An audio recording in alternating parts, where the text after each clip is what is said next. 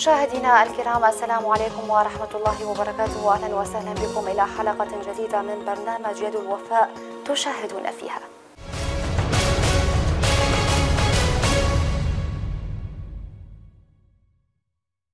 مؤسسة الشهداء تجري القرعة بين ذوي الشهداء الراغبين بأداء فريضة الحج على نفقة المؤسسة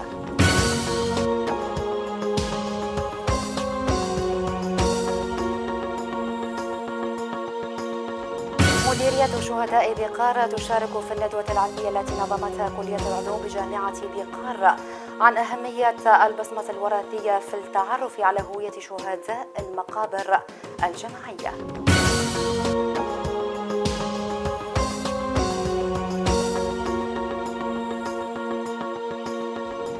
مدير عام الدائرة الاقتصادية والاجتماعية يلتقي وفد الجامعات الروسية ويؤكد سعي مؤسسة الشهداء لإرسال مزيد من طلبة الدراسات العليا من ذوي الشهداء إلى روسيا.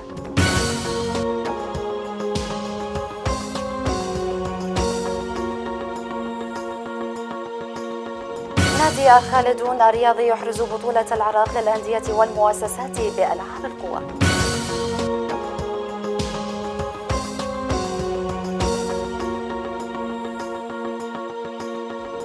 الباحث رغد محمد علي تنال شهادة الماجستير في علوم الحياة عبر قناة مؤسسة الشهداء.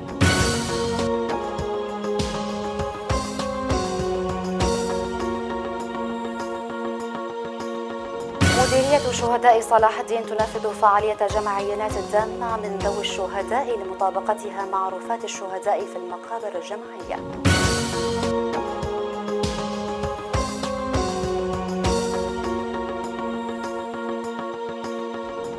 مديرية شهداء ديالى تكرم الطلبة المتفوقين من ذوي الشهداء في المحافظة لحصولهم على الإعفاء العام.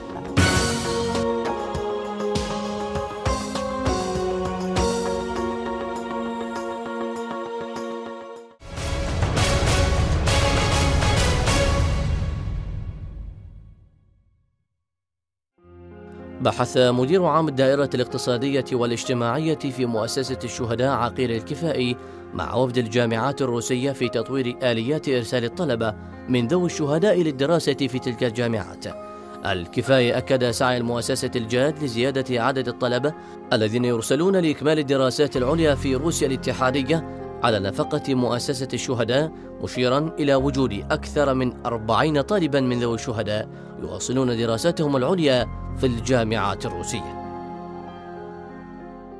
زار الوفد مؤسسة الشهداء التقينا بهم واطلعنا على واقع الف... الواقع الفعلي لتلك الجامعات. أبدى الوفد استعداده التام وتعاونه المستمر مع مؤسسة الشهداء لإيفاد الطلبة الراغبين بإكمال دراساتهم العليا في مختلف التخصصات العلمية والإنسانية. كذلك أبدوا استعدادهم لتقديم المزيد من الجهد والمتابعة فيما يخص رفع المستوى العلمي لدى الطلبة من ذوي الشهداء والذين سوف يتم إرسالهم إلى جمهورية روسيا الاتحادية. الوفد الذي مثل ست جامعات روسية أبدى استعداده لتقديم العون والدعم لمؤسسة الشهداء عبر إقامة دورات تدريبية مجانية لذوي الشهداء فضلا عن قبولها طالبين لدراسة الماجستير واثنين آخرين لدراسة الدكتوراه على نفقة الجامعات.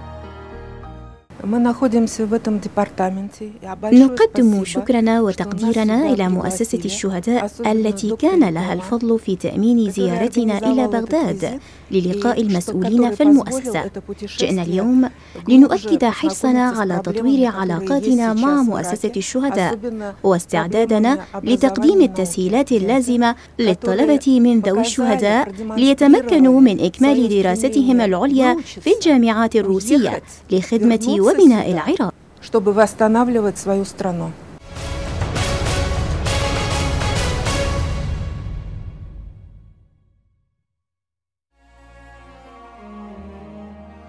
أحرز نادي الخالدون الرياضي لقب بطولة أندية ومؤسسات العراق لألعاب القوى البطولة التي أقيمت على مدى يومين وشارك فيها 1720 متسابقا يمثلون 133 ناديا رياضيا حصل فيها أبطال النادي الخالدون الرياضي على المراكز الأولى في أغلب المسابقات الفردية ليتوجوا بلقب البطولة على المستوى الفرقي.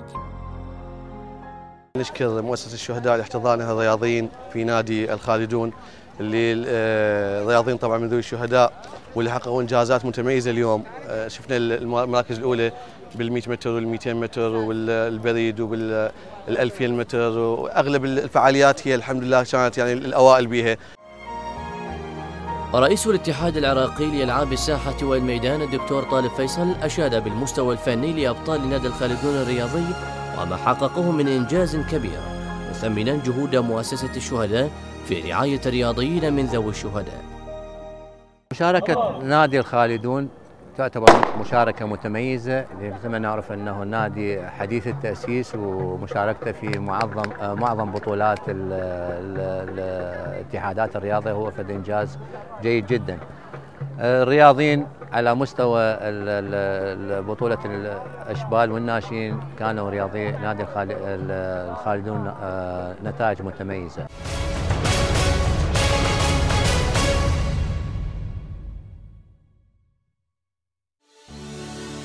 حصلت الباحثة رغد محمد علي جاسم على شهادة الماجستير في قسم علوم الحياة بكلية التربية للبنات جامعة الكوفة عن رسالتها الموسومة الكفاءة العلاجية والمناعية لعسل النحل الطبيعي في شفاء الجروح الجلدية المخمجة بالبكتيريا المرضية عبر قناة مؤسسة الشهداء. الباحثة ثمنت جهود مؤسسة الشهداء في الرعاية العلمية لذوي الشهداء مشيدة بموقف مديرية شهداء النجف الأشرف الداعم لطلبة الدراسات العليا من ذوي الشهداء. أكملت بحثي الموسوم بالكفاءة العلاجية والمناعية لعسل النحل الطبيعي على الجروح الجلدية المخمجة بالبكتيريا المرضية. علما أن البحث له فوائد إيجابية على المجتمع وأثني على مديرية شهداء النجف لحضورها الفاعل في جميع المناسبات وفي هذه المناقشة.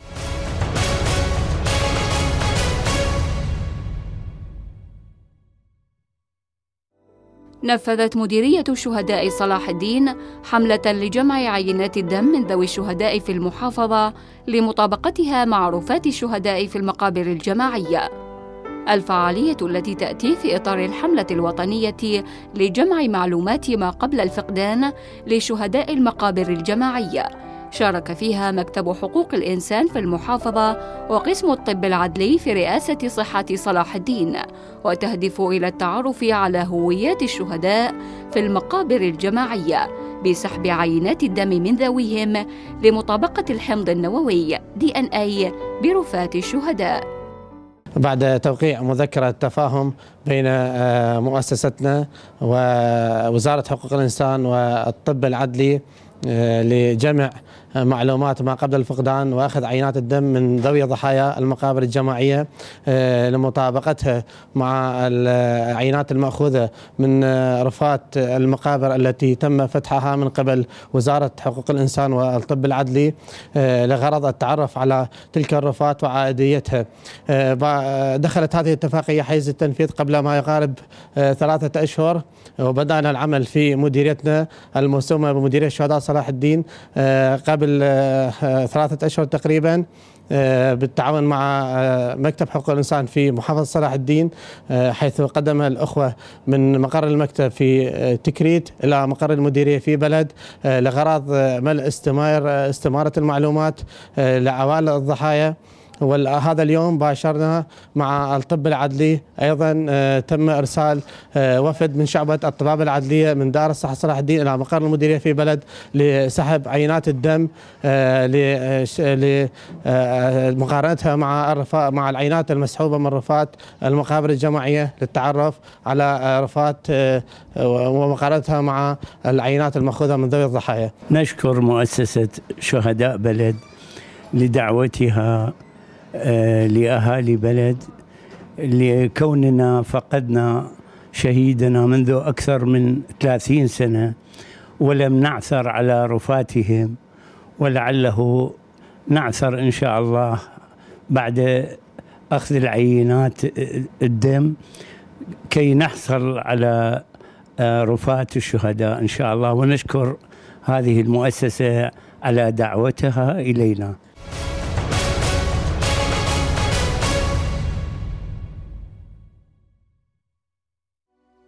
كرمت مديرية شهداء ديالى طلبة المتفوقين من ذوي الشهداء في المحافظة الذين حصلوا على الإعفاء العام.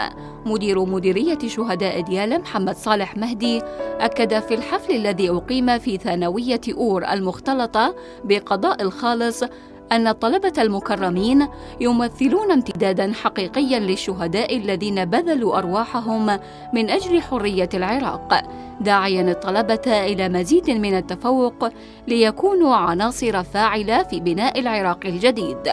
هذا وحضر الحفل نائب رئيس مجلس محافظة ديالى السيد صادق الحسيني ومدير تربية قضاء الخالص ومسؤول النشاط الرياضي في مديرية تربية ديالى وجمع غفير من ذوي الشهداء.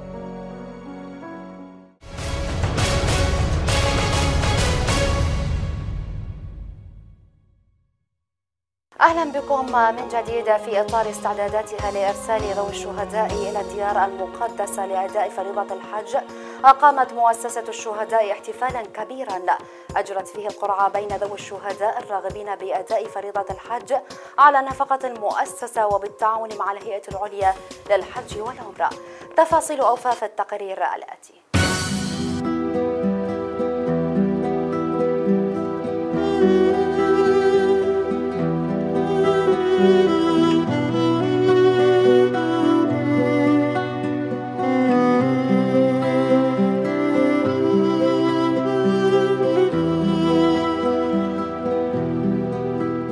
على الرغم من كون إرسال ذوي الشهداء لأداء فريضة الحج على نفقة المؤسسة من الخدمات التي لم ترد بالنص في قانون مؤسسة الشهداء إلا أن المؤسسة حرصت على تقديم هذه الخدمة إلى ذوي الشهداء مستندة إلى روح القانون الذي نص على تقديم أفضل الخدمات لذوي الشهداء.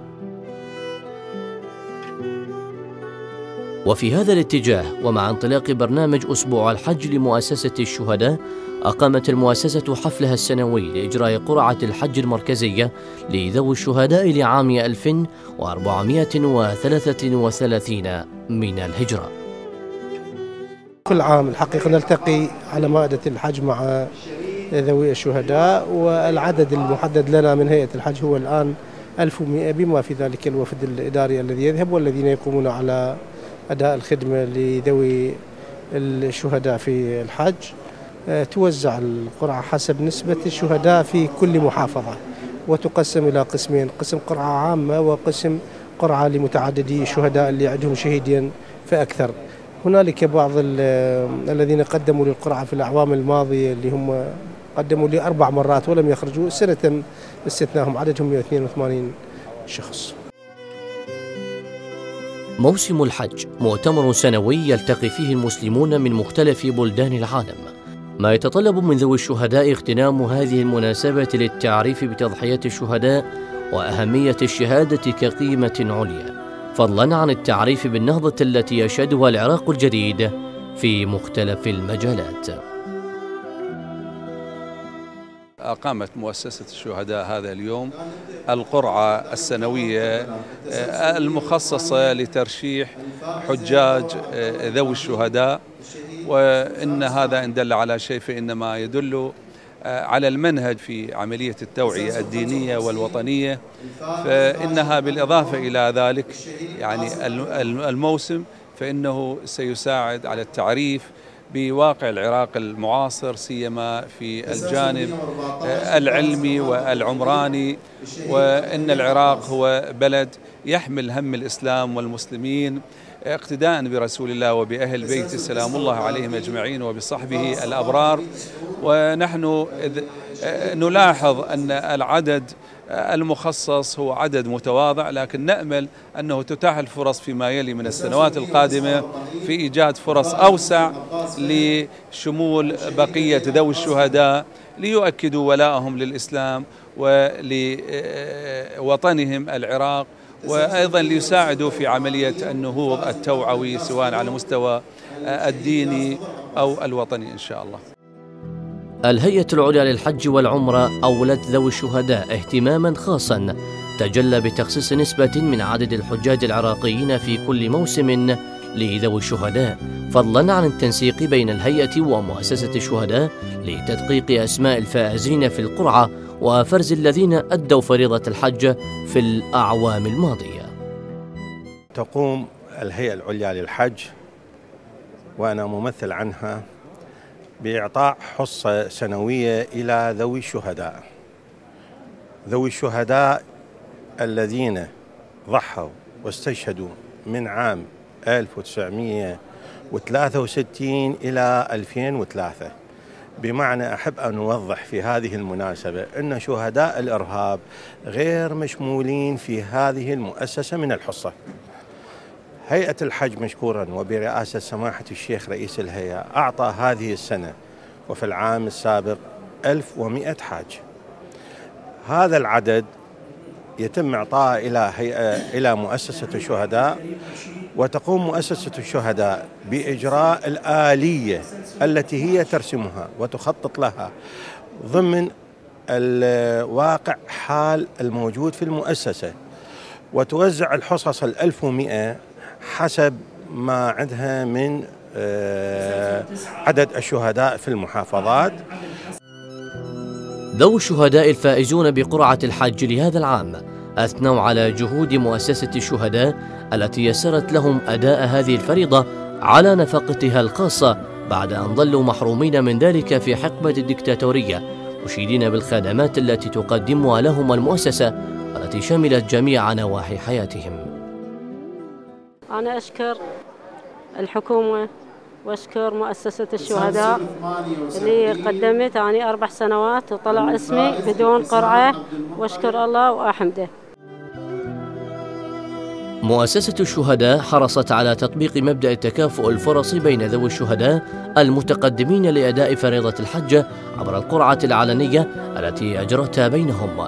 من دون تمييز إلا على أساس عدد الشهداء الذين قدمتهم عائلات الشهداء.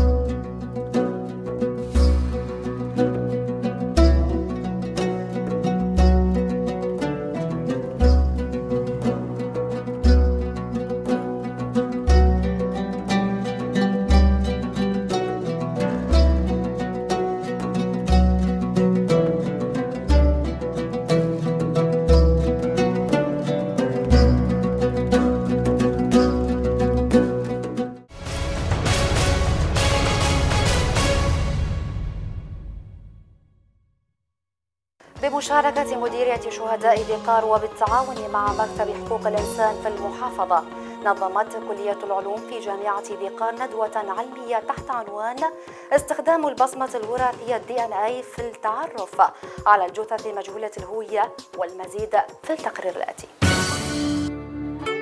بالتزامن مع اليوم الوطني لشهداء المقابر الجماعية وتواصلا مع الحملة الوطنية لجمع معلومات ما قبل الفقدان أقامت كلية العلوم في جامعة ذقار ندوة علمية تحت عنوان استخدام البصمة الوراثية دي إن اي في التعرف على الجثث مجهولة الهوية للتثقيف بالجانب العلمي والقانوني للموضوع بغية حث ذوي الشهداء على التبرع بعينات الدم من أجل مطابقتها مع تلك المستخرجة من رفات شهداء المقابر الجماعية.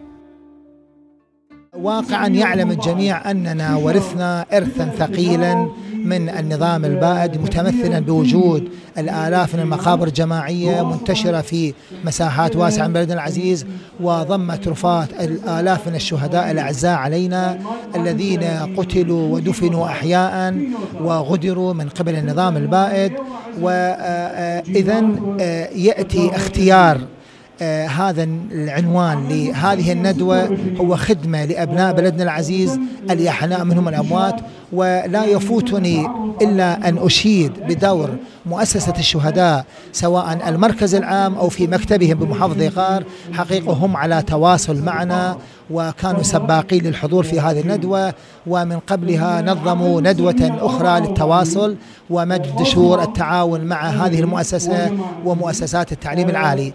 حقيقة مرة أخرى أؤكد على أننا في مؤسساتنا العلمية نعمل جاهدين على توظيف البحث العلمي أسس البحث العلمي نتائج البحث العلمي في خدمة مجتمعنا العزيز. الندوة اكتسبت أهميتها من أهمية موضوع مطابقة عينات الدم التي تسحب من ذوي الشهداء الذين لم يتعرفوا على جثامين شهدائهم مع البصمة الوراثية دي إن اي المأخوذة من رفات الشهداء في المقابر الجماعية من أجل تحديد هوية الشهداء. هذه الحملة التي أطلقتها وزارة حقوق الإنسان هي حملة جمع المعلومات ما قبل الفقدان.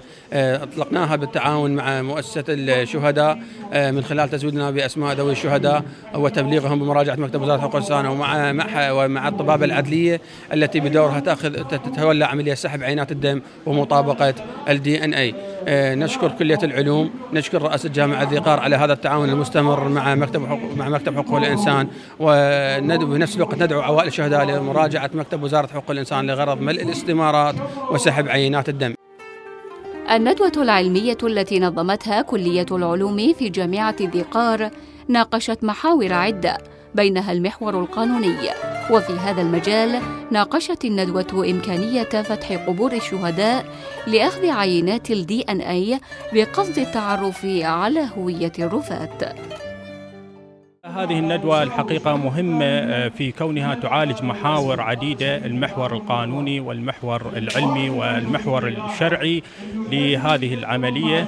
آه، وخصوصية هذه الندوة الحقيقة من الجانب القانوني أن قانون العقوبات العراقي آه، يقيم أهمية وقدسية لجثث الموتى ولا يجيز الاعتداء عليها ويجعلها جريمة. خصوصيتها تكمن في في مناقشة هذا القانون الخاص الذي صدر مؤقتا وهو قانون حماية المقابر الجماعية الذي أجاز للجنة ذكرها ذلك القانون أخذ عينات الدي ان اي وفتح تلك القبور من أجل التعرف على هوية هؤلاء الضحايا. أكاديميون شاركوا في الندوة العلمية التي نظمتها كلية العلوم بجامعة ذقار أكدوا أهمية البصمة الوراثية في تحديد هوية ضحايا المقابر الجماعية مشيدين بالجهود التي بذلتها مؤسسة الشهداء في التعرف على هوية رفات شهداء المقابر الجماعية يمثل موضوع من هكذا نوع باستخدام الدي ان اي والبصمة الوراثية بالكشف عن الجثث مجهوله الهوية واحدة من الأمور المهمة جدا وقد كان لمؤسسة الشهداء دورا كبيرا في عملية الكشف عن الجثث بهذا الخصوص ومن خلال موضوعة المقابر الجماعية. بالتأكيد أن الموضوع من هكذا نوع يستحق الاهتمام والتركيز. أعتقد أن جهد من هذا النوع يستحق الثناء وكان دائما لكلية العلوم دورا بارزا في هذا الخصوص. وهذه اليوم تشترك مع مكتب حقوق الإنسان في ذيقار بتسليط الضوء على هذا الموضوع. نشاطات وفعاليات متنوعة تقام في المؤسسات العلمية المختلفة الغاية منها إيصال فكرة واضحة عن أهمية التبرع بالدم في التوصل إلى معرفة هويات ضحايا المقابر الجماعية.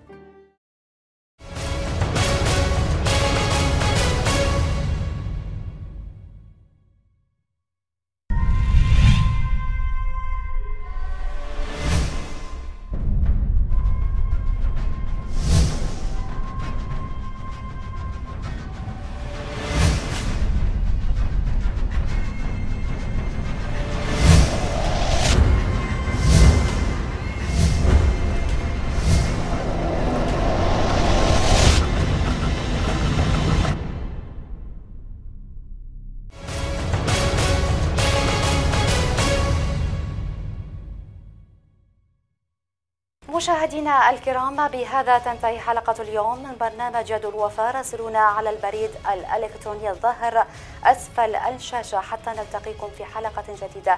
إلى اللقاء.